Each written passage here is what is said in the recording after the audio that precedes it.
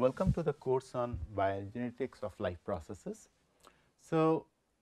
essentially in this course, the core idea what we will be dealing is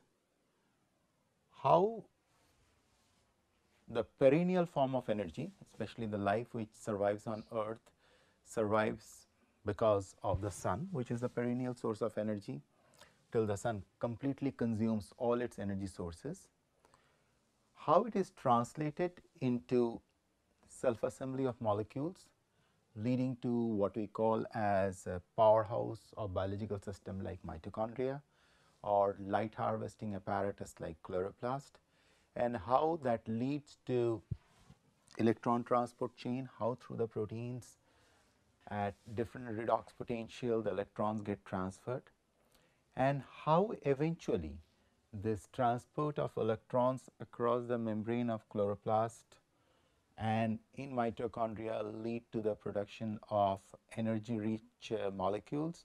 as well as consumable sugar. Apart from it here also we will be talking about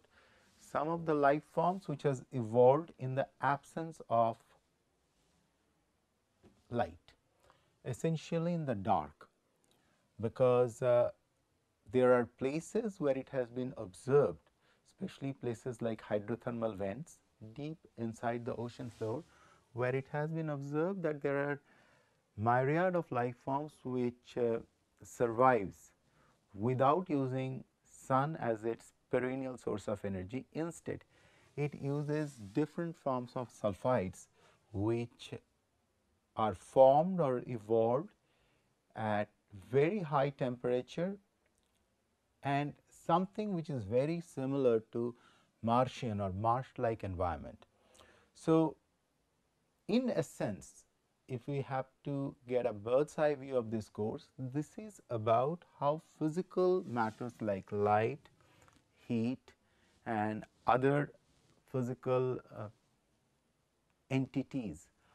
leads to the self assembly of molecules and leads to the evolution of life forms and how these life forms survives through the ages by translating different form of energy into matter, matter into energy, so on and so forth. And as a matter of fact, bioenergetics is the very, very core of our existence or evolution. So, welcome you all